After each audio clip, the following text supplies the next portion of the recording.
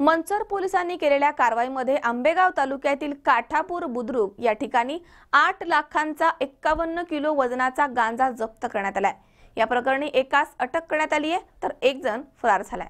काठापूर बुद्रुक या ठिकाणी शेतामध्ये असणाऱ्या कांद्याच्या वखारीमध्ये गांजा असल्याची खबर मिळताच मंचर पोलिसांनी केलेल्या कारवाईमध्ये एक्कावन्न किलो एकशे नव्वद ग्रॅम गांजा जप्त करण्यात आलाय.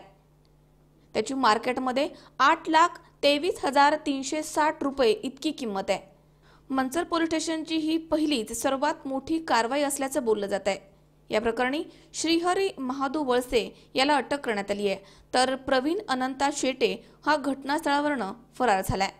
ही कारवाई मंचर पोलीस स्टेशनचे पोलीस निरीक्षक चंद्रकांत कांबळे सहाय्यक पोलीस निरीक्षक जगताप पोलीस हवालदार जगताप यांच्या पथकानं केली आहे. चंद्रकांत कांबळे यांच्यासारख्या कर्तव्यदक्ष अधिकारी मंचर पोलीस स्टेशनमध्ये रुजू झाल्यापासून अनेक गैरप्रकारांना आळा बसला होता.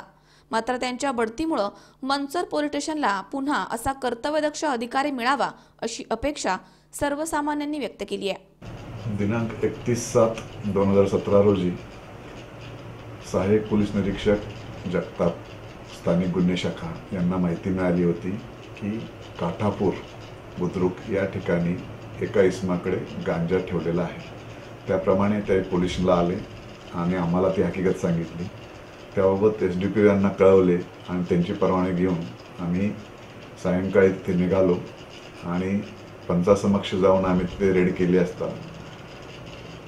गावातील आरोपी हा तिथे शेतातच होता.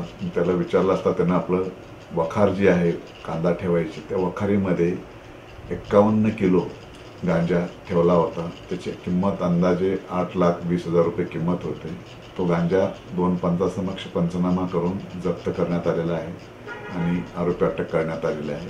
दुसरा आरोपी जो त्याच्याबरोबरचा होता तो पळून गेलेला आहे आणि इतर कोण आरोपी कुठून माल आणला याच्यावरचा तपास सुरू आहे. दिनेश बानखेले सी चोवीस तास मंचर.